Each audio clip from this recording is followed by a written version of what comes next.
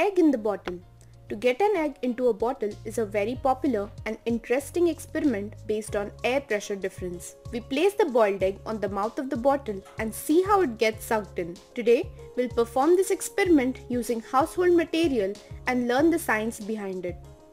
For this experiment, we need wide mouth glass bottle, hard-boiled egg, lighter, camphor and tongs. Choose the glass bottle such that the mouth of the bottle is slightly smaller than the size of the egg. Hence, it is not possible to put the egg in the bottle directly. Now hold the camphor with tongs and light it up with a lighter or a matchstick. Drop it in the bottle.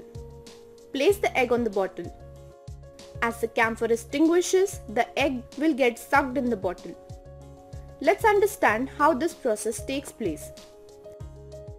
Since the egg fits snugly on the bottle, it creates a closed system in which the air cannot go in or out of the bottle. The air molecule in the bottle heat up due to burning camphor. Heated air expands in the bottle and occupies more volume. When the egg is placed in the bottle, the flame extinguishes due to lack of oxygen.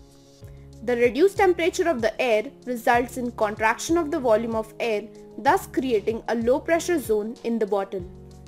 This low pressure zone creates suction and pulls the egg in the bottle. Now let us try the same trick upside down. Hold the bottle on a flame for a while and place an inverted bottle on the boiled egg. Surprisingly, you can lift the egg without touching it with hands Instead of the lighter, you can also try with a bigger flame. Place the camphor on the top of the boiled egg. Lit the camphor and slowly bring the bottle above the flame. Allow the flame to heat up the air inside the bottle for few seconds and then place bottle on the flame such that the bottle should touch to the egg. The camphor flame will go off and egg will get sucked up in the bottle making loud pop sound.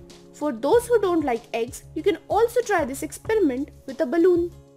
Fill some air in the balloon so that the size of the balloon is slightly bigger than the mouth of the bottle. As the membrane of the balloon is more flexible than boiled egg, you can see change in its shape very easily. Repeat the same procedure as the egg and see the balloon get sucked in the bottle as camphor extinguishes. You can do this experiment and amaze your friends. Thank you for watching our video. We hope you learned something new today.